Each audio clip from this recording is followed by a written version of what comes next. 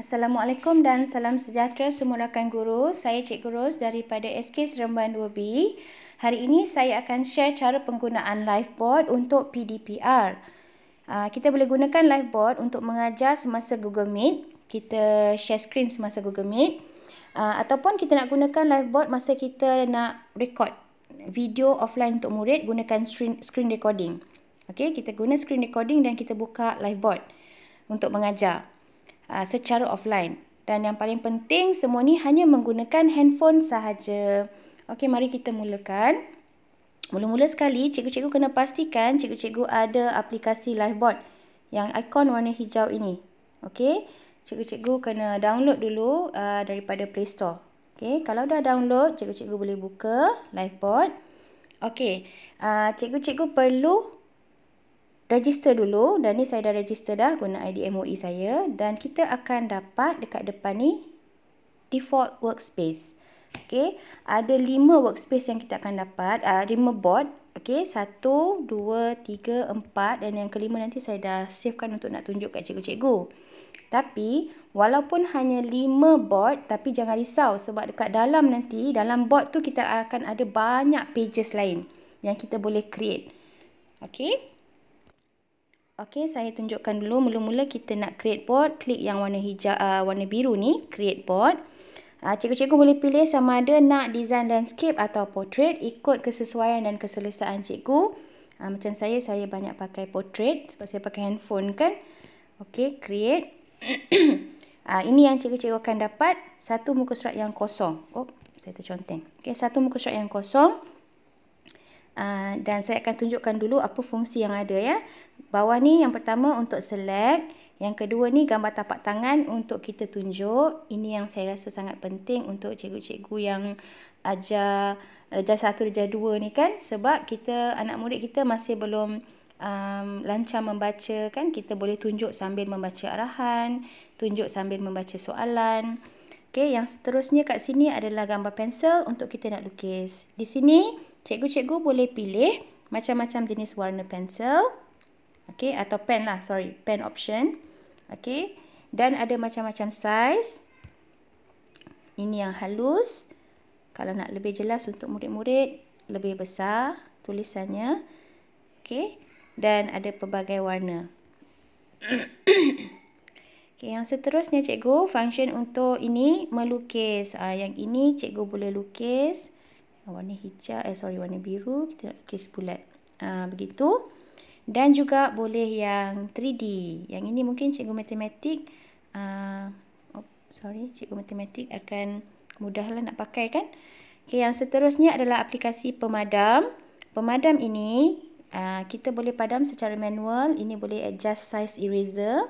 Okey, padam secara manual begitu saja. Kita kita lalu kat tempat yang kita nak padam atau kita boleh clear page. Tapi clear page ni cikgu-cikgu bahaya sikit. Dia akan padam seluruh muka surat termasuk gambar bahan yang cikgu dah uh, masukkan. Okey, contohnya kan saya tekan clear page, ha habis semua dia akan buang. Okey, tapi kalau kita dah tertekan, kita boleh tekan undo dekat atas ni. Okey. Tekan tu dia akan keluar balik. Okey, yang seterusnya uh, untuk teks ini TT ni uh, ini saya banyak pakai sebab masa saya jawab buku aktiviti dengan murid saya akan jawab sama-sama dengan murid lah. Okey, contohnya percubaan. Okey, dan saya boleh adjust size dia kecil ataupun besar nanti. Okey, jap ya. Eh. Uh, ah kecil ataupun besar. Okey.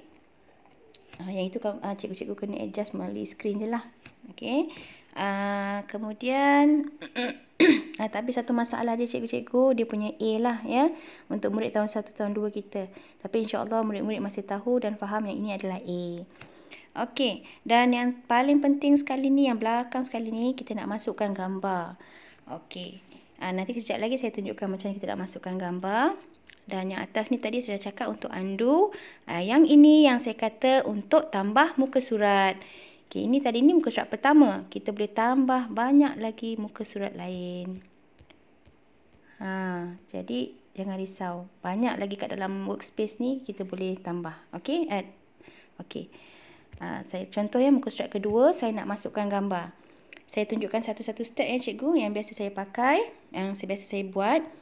Okey, untuk masukkan gambar, kita ada pilihan take photo. Kita maksudnya kita ambil gambar direct. Okey, take photo gunakan kamera terus daripada buku teks ataupun buku soalan yang cikgu nak pakai. Bahan untuk hari itu kan.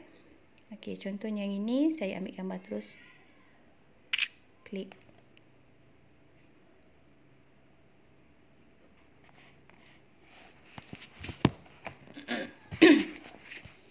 Okey, tekan tick untuk accept pictures tu dan dia akan masukkan.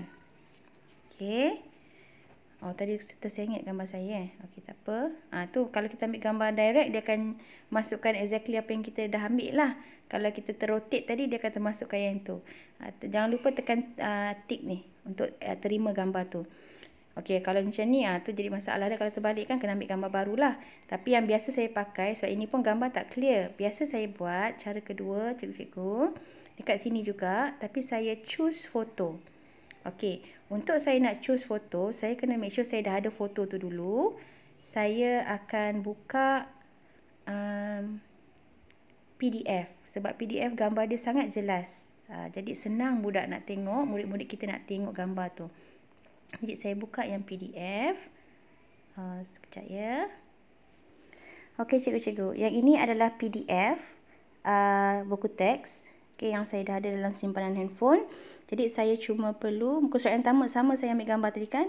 Saya cuma screenshot. Okay, kemudian kita pergi balik ke pictures. Foto tadi. Dan kita edit gambar yang kita screenshot tu. Okay, edit kita crop supaya dia masuk betul-betul muka surat yang kita nak sahaja. Muka surat 53 ini. Okey, tick dan save. Kemudian kita boleh buka balik kita punya live board. Ha, sekarang kita masukkan. Okey, ni tadi muka surat 2 kan? Okey, muka surat 3 kita masukkan gambar. Insert image. Choose photo. Kita choose foto yang tadi kita dah screenshot dan kita dah edit tu. Okey yang ini. ha, dia lebih jelas, lebih cantik, menarik untuk murid kita nak tengok. Ha, masa kita nak mengajar. Ha, jadi ini yang akan keluar masa kita mengajar nanti. Okey, sangat jelas, sangat cantik, murid pun boleh baca dengan baik. Okey, sama juga dengan buku aktiviti saya buat cara yang sama. Okey, ni contoh ya. Uh, Science 1 tadi buku aktiviti kan ah biasanya saya akan keluarkan lah saya akan tunjuk dulu macam ni saya akan ambil gambar depan supaya murid-murid tahu ah okay you take out this book the science blue book activity book kalau tak nanti dia akan tanya teacher buku yang mana teacher ha jadi kita ambil gambar cover depan dan kita masukkan lepas tu muka surat sebelah adalah soalan yang kita nak jawab hari tu ha okey ni sebagai contohlah kalau yang soalan buku aktiviti biasanya tidak ada dekat internet kan. Jadi cikgu-cikgu boleh pakai cam scan uh, scanner. Okey, scan gambar daripada uh, buku teks buku aktiviti tu sendiri. Okey. Ha, kemudian kita boleh mulakanlah sesi pengajaran tunjukkan complete the parts of my body. Uh, tunjuk dan jawab bersama-sama dengan murid. Okey, contoh tadi ni uh, kita nak lukis. Okey, soalan terakhir tu kan draw, draw the missing parts kita boleh besarkan skrin supaya murid nampak dan kita lukis this is the fin ha. Okay, kemudian kalau macam nak color ni kan ha, sebab soalan kata choose and color the correct answers okay, this is a fish okay, take out your color pencil dan warnakan Ha, kita buat sama-sama dengan murid lah. Okey, macam tu terlebih-lebih pula tertutup muka surat lain, uh, soalan lain. Kita erase. Okey, jadi kemudian uh, itu yang saya cakap tadi. Kalau misalnya kita gunakan eraser ni clear page. Kita bukan clearkan yang kita conteng je. Kita clearkan semua sekali. Ha, jadi kalau dah tertekan, cikgu tekan undo, dia akan keluar balik. Okey. Um, okay, ada satu lagi perkongsian. Sekiranya cikgu nak gunakan live pod ni untuk uh, buat offline class, screen recording, cikgu-cikgu akan gunakan aplikasi yang ini. Ah ni, screen recording. Okey? Sorry, yang yang ini, screen recording. Yang itu. Okey. Kemudian uh, kalau tidak ada aplikasi tu cikgu-cikgu boleh download saya rasa dekat Play Store. Kemudian kalau misalnya cikgu-cikgu um, nak gunakan benda ni okay, um, pada Google Meet, cikgu-cikgu macam saya lah, saya akan gunakan dua. Saya akan login dua dua tempat. Okay, saya akan login dekat laptop uh, tapi laptop saya tak tak stabil. Dia selalu terkeluar sendiri. Itu sebab saya tak gunakan laptop. Saya gunakan handphone sebab handphone lebih stabil. Memang saya jarang-jarang lah terkeluar daripada kelas sendiri, GM sendiri. Uh, jadi laptop hanyalah untuk saya nak view murid saya sahaja. Saya offkan saya punya uh, macam ni kan. Saya offkan saya punya uh, kamera, offkan saya punya mikrofon dan yang paling penting saya punya speaker yang atas tu ya cikgu. Uh, sekejap saya tunjuk kat sini ya. Okey eh. Uh, ni saya masukkan ni dekat dalam liveboard saya. Saya offkan kamera kat laptop eh bukan kat handphone uh, camera off, speaker off dan yang penting ni speak uh, sorry microphone off, speaker yang ini. Yang ini memang cikgu-cikgu kena off kan. Kalau cikgu-cikgu tak off kan yang itu, nanti kita online pakai dua gadget, dua uh, dua bahan, uh, dua benda kan. Uh, laptop satu, handphone satu. Bila kita bercakap dekat kita punya handphone, sebab kita mengajar pakai handphone kan, dia akan ada echo, dia akan ada bunyi bergema. Ha, dan murid akan tak dengar dan akan pening kita pun tak boleh mengajar. Jadi bila kita nak gunakan dua uh, uh, peranti, satu laptop, satu handphone, pastikan yang satu tu kita dah offkan dia punya uh, ni. Yang ni saya tak off lagi ni. Okay, kena offkan. Offkan speaker, offkan kamera, offkan mikrofon dan kita hanya guna untuk view murid kita sahaja. Sebab bila kita share screen dekat handphone, kita tak nampak murid kita. Itu ha, satu kelemahan dia. Okay, jadi uh, handphone kita hanya guna untuk mengajar, uh, laptop hanya guna untuk view murid saja. Ini untuk yang mana yang masalah lah macam saya.